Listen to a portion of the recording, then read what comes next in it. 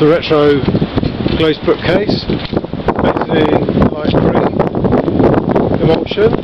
So, hopefully, you see it's in very good condition. Two sliding doors,